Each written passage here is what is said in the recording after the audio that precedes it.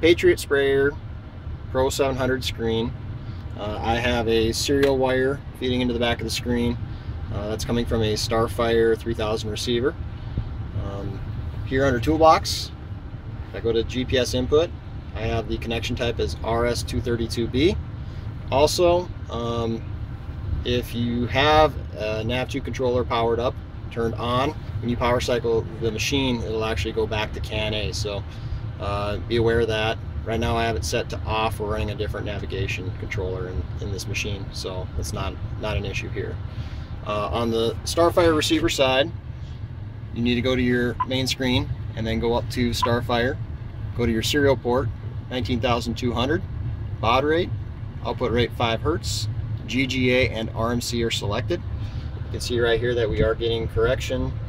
Uh, if I go to my diagnostics, go to GPS, you can see I'm getting all my information and uh, should run.